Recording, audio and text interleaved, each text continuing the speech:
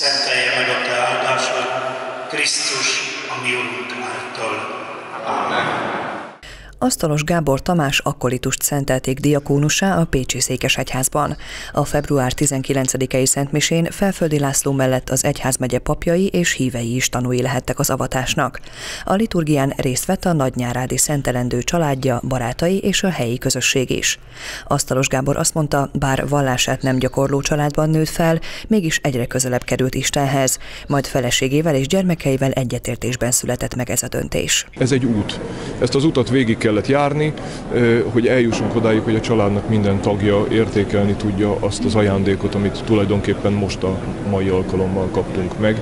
Ez a szentelés nem csak rólam szól, nem csak nekem szól, ez az egész családnak, a, a gyermekeimnek, a szüleimnek, a feleségemnek, mindenkinek a, az ünnepe, mindenkinek egy, egy ajándékot, egy valamilyen saját személyes kincset adott ma, szerintem én úgy gondolom.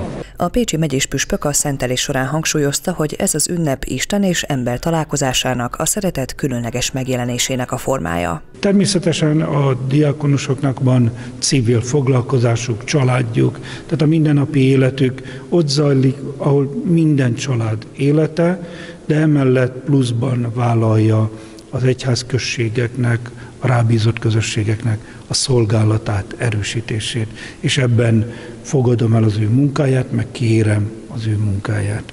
A főpásztor, a jelenlévő papok, diakónusok békecsókkal köszöntötték a felszenteltet, aki a Szentmise áldozati részénél is segítkezett.